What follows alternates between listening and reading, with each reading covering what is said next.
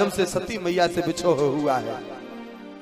महाराज जब से माँ सती ने तन त्यागा है तब से भगवान शंकर के मन में वैराग्य आ गया। इधर उधर जहाँ जहाँ जाते हैं भगवान की कथा सुनते हैं गाते हैं केवल एक ही काम।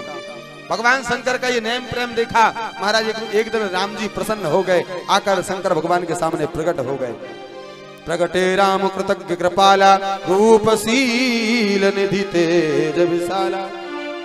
महाराज राघव सरकार प्रकट हो गए और माता पार्वती के जन्म की पूरी बात सुना दी, सब कुछ बता दिया और कह दिया, क्या? हे भगवान शंभु, अब विनती मम सुनहु शिव, जो मुँह पर निज ने जाय विवाह शैल जही, यह मोहि मांगे देव जैसे ही राम जी ने ये कहा तो भगवान शंकर कहने लगे, अरे क्या सिर पर नाथ तुम्हारी आज्ञा सिर पर नाथ तुम सब भांति परम हितकारी तुम सब भांति परम उसी समय सप्तऋषि आ गए महाराज। सप्तऋषियों ने आकर के महाराज, बड़ी प्रकार से रामचंद्र जी अंतर ध्यान हो गए और महाराज, भगवान शिव जी के पास महादेव जी को अत्यंत इतने सुंदर सुंदर वचन कहे और महाराज, भगवान शंकर ने कहा, जाओ तुम पार्वती की परीक्षा लो। सप्तऋषि गए, पार्वती मैया के पास पहुँच गए। पार्वती मैया के पास पहुँचे, सप्तऋषि माँ ने कहा, आइए। सप्तऋषि बोले, देवी, क्या बात है, बड़ी कठिन तपस्या चल रही है। काय के लिए? तो माँ ने कहा, शिव जी को बर रूप में प्राप्त करना है। सप्तऋषि कहने लगे, देवी, हमने तुम्हारे लिए बड़ा अच्छा बर ढूंढ के रखा है। बोले, कौन सा? बोले, बहुत अच्छा बर ढूंढ के रखा है।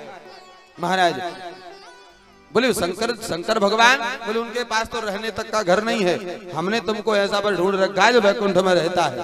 हैं? पीताम्बरधारी चक्र भगवान विष्णु को हमने तुम्हारे लिए चुन रखा है। माँ ने कहा सप्तऋषियों को, बाबा, आपने आने में देर कर दी। आपने आने में देर कर दी। आपको थोड़ा पहले आना था। मैंने तो पहले ही भगवान शंकर को अपने पर रूप में चुन रखा है। महाराज सप्तियों ने सौभाग्य परीक्षा ली जाकर भगवान शंकर को बताया। भगवान शंकर कहते हैं ब्राह्मण का भेष बनाकर खुद भी परीक्षा लेने गए माँ की। जाकर के जहाँ माँ तप कर रही थी उसी सरोवर में डूबने लगे। डूबने लगे तो माँ ने देखा माँ ने देखा कि क्या करूँ? ये ब्राह्मण डूब रहा है मर जाएगा। कहा माँ ने सोचा कि मैं तप कर रही हूँ और पर, पर पुरुष को स्पर्श करना ये स्त्री के लिए वर्जित है। मेरा तो व्रत भंग हो जाएगा मेरी तपस्या खंडित हो जाएगी। माँ ने कहा चलो इस जन्म में खंडित हो जाएगी फिर से जन्म लूँगी दूसरा फिर तप करूँगी फिर शिव जी को प्राप्त करूँगी। लेकिन सबसे बड़ा तप तो यही है कि मरते हुए को बचाना। ये ब्राह्मण मेरे आगे मर जाएगा। माँ ने कहा, एक जन्म में शिव नहीं मिलेंगे, कोई बात नहीं। दोबारा फिर जन्म लूँगी, फिर तब करूँगी। माँ ने जाकर के हाथ पकड़ा। महाराज ब्राह्मण को बचाया। वो ब्राह्मण कोई और नहीं, भगवान शंकर ही परीक्षा लेने गए थे। महाराज, भगवान शिव ही परीक्षा लेने गए थे। भगवान शंकर प्रकट हुए और बर दे दिया, जाओ देवी, हमने तुम्हें स्वीकार किया। महाराज, संपूर्ण रूप से परीक्षा हुई। उसके बाद महाराज भगवान शंकर, अब इधर सब देवता लोग परेशान क्यों? महाराज, एक तारकासुर नाम का राक्षस हुआ। संपूर्ण संपूर्ण त्रिलोकी पर अपना शासन कर लिया। देवता लोग मारे मारे, इधर उधर भटकने लगे। तो भगवान शंकर के पास, महाराज, सबके सब देवताओं ने विचार किया, शंकर जी के पास चलो। महाराज, विष्णु, ब्रह्मा, इंद्र इत्यादि सब देवता, लेकिन जाए तो सब दूर खड़े हो गए। बोले, अब सब में से कोई कहे, आगे तुम जाओ, आगे तुम जाओ, क्योंकि पता है कि इधर तो जाओ तो तीसरी खुलेगी सीधी। क्योंकि समाधि में रहते हमेशा। और तीसरी खुली तो हाल वही होना है जो कामदेव का हुआ।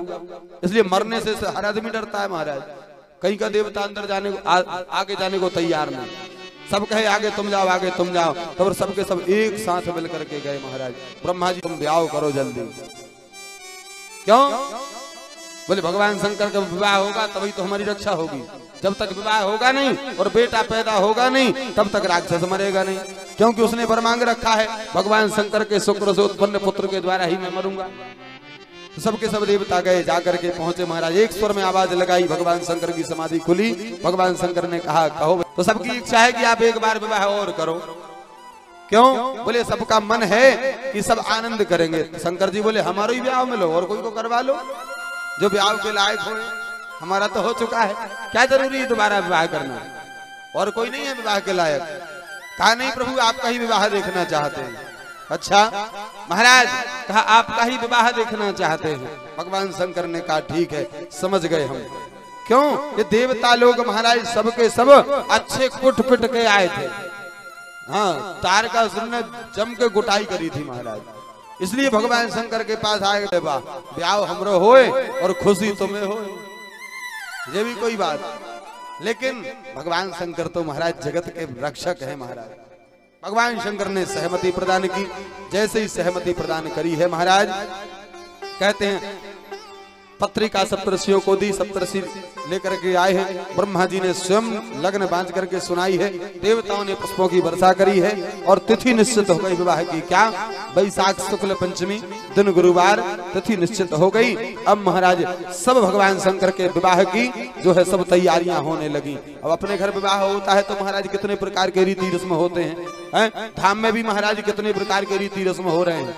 है महाराज, मेहंदी चल रही है तो हल्दी चल रही है तो महिला संगीत चल रहा है। लेकिन दिन आ गया महाराज, आज लगन हो गई। बोले, सायंकाल को खन मिट्टी होना है। बाबा की खन मिट्टी होना है महाराज। अब बाबा की खन मिट्टी लबे कौन जाए? ना तो बाबा के भुआ, ना मौसी, ना मामी, ना काकी, ना ताई, ना चाची, ना बहन। अब खन मिट्टी लेवे कौन जाए? इनके तो सब रिश्तेदार भूत और भूतनिया। तो महाराज किसी ने कहा माटी लेने कौन जाए? तो बोले, भैया बाबा की खन माटी लेने भी भूतनिया ही गई